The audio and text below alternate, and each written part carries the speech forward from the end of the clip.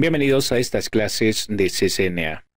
En este vídeo vamos a conocer el segundo método para hacer enrutamiento entre VLANs. ¿Vale? El método se llama Router on Stick o también conocido como ROAS.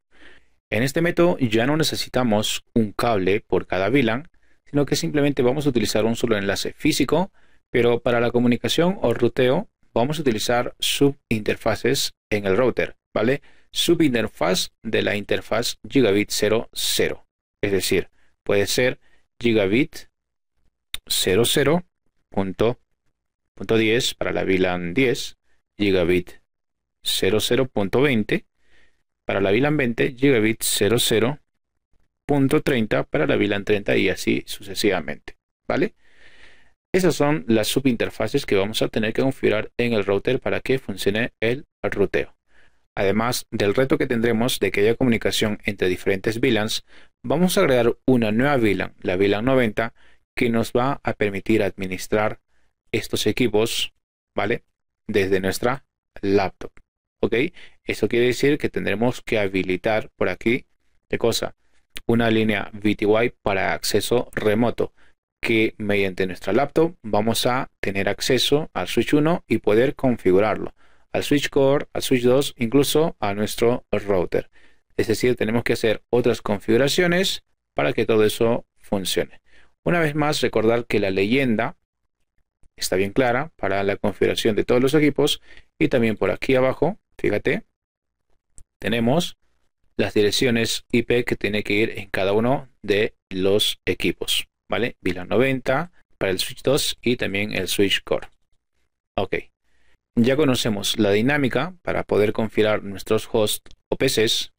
Recuerda únicamente las direcciones IP, tanto versión 4 como IP versión 6.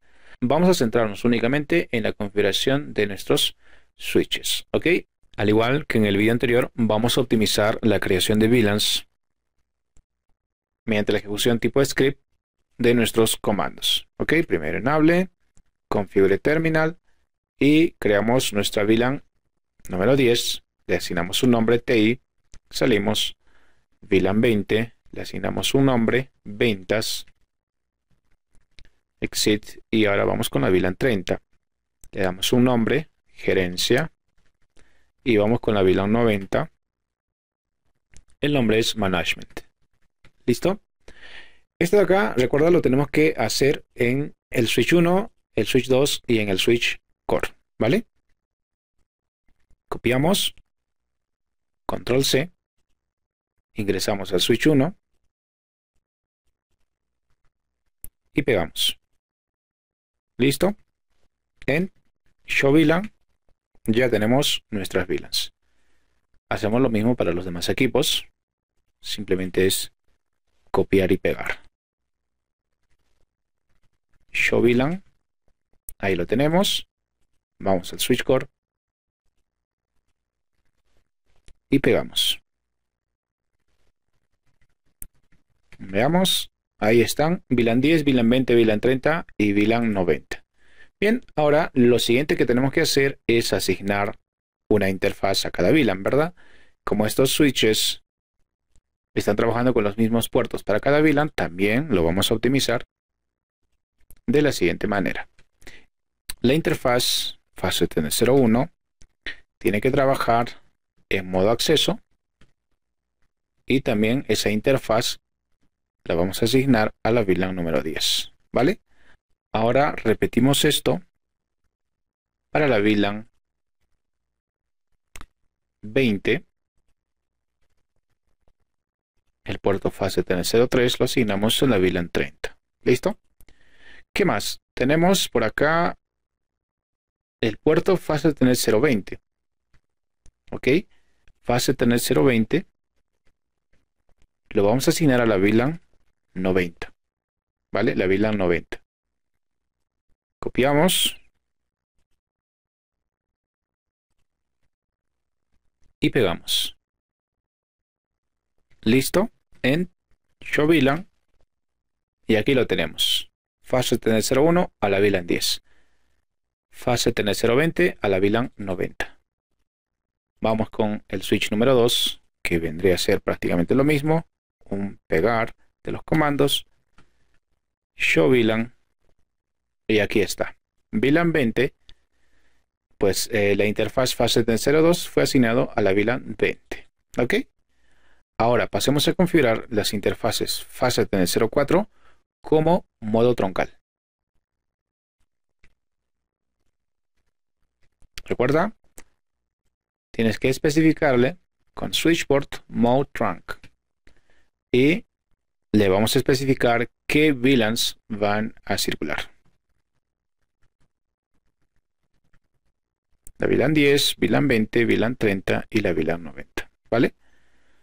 Y eso sería todo. Control C.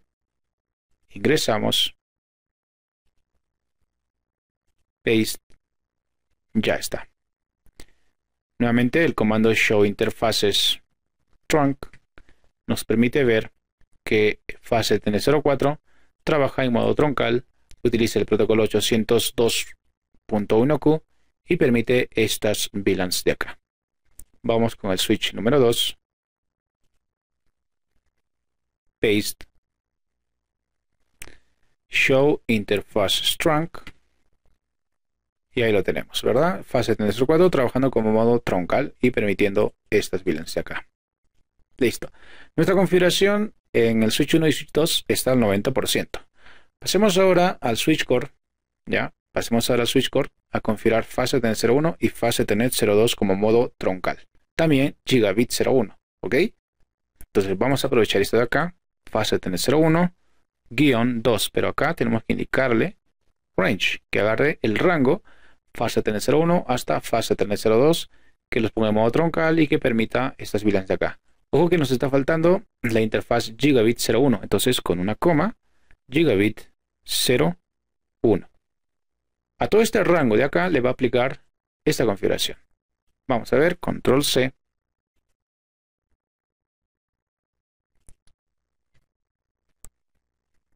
Paste. Listo. ¿Ok? Bien, vamos a ver. Show interfaces en modo trunk. Ahí está. fase Ethernet 01 y fase Ethernet 02 están en modo troncal. Gigabit 01 no lo está mostrando porque está apagado el router. Cuando esté encendido, ese puerto se va a encender y seguramente se va a ver. ¿Vale? Vamos ahora a nuestro router. Ok. Veamos, ingresamos a la configuración global ingresamos a la interfaz gigabit 00 y lo único que hacemos acá es una shutdown para poder encenderlo vale fíjate ya se está encendiendo. Ahora vamos a configurar las subinterfaces. Interfaz gigabit 00.10 vale estamos en la subinterfaz.10 le indicamos que utilice el protocolo de encapsulación de esta manera encapsulación.1q ¿vale? Para la VLAN 10. Ojo, el último es el número de la VLAN, ¿vale? Esto de acá es el protocolo de encapsulación. Bien, aquí únicamente le asigno una dirección IP punto .10.1 y la máscara punto .0. ¿Vale? Eso sería. Ojo que esta dirección IP de la subinterfaz de la VLAN 10 tiene que estar configurado donde? En el host de la, de la VLAN 10. ¿Vale? Eso está especificado claramente aquí abajo. Bien, salimos. Ahora ingresamos a la otra subinterfaz gigabit 00.20. También le indicamos que utilice el protocolo de encapsulación .1q. Para la VLAN 20 le asignamos una dirección IP .20.1 y la máscara, no nos olvidemos, exit, ingresamos a la otra subinterfaz, punto 30, también encapsulation dot 1q para la VLAN 30, una dirección IP, punto 30.1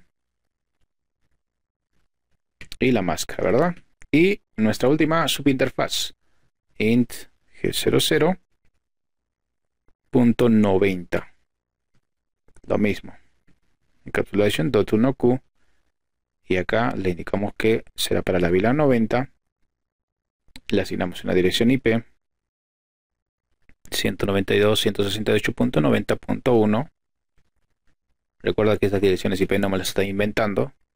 Están claramente especificados en la parte de la leyenda. Ent. Listo. Ahí tenemos. Podemos ver esto acá. Show IP. Interfase. Brief. Fíjate. Las direcciones IP que hemos asignado a las subinterfaces .10, .20, .30 y .90. Ahí están. Recuerda que estas direcciones IP que estamos colocando acá tienen que estar en cada uno de los hosts de acuerdo a la VLAN a la que pertenece.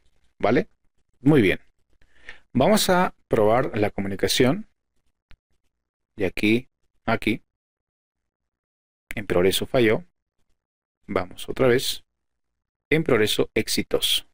Vamos de la PC2 a la PC4. Recuerda que el primer paquete siempre falla. Nuevamente. Exitoso. Veamos de la PC3 a la PC4. Exitoso, ¿verdad?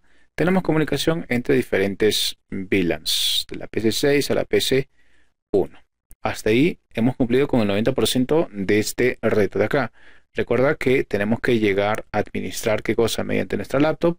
Este switch, este switch y este switch de aquí.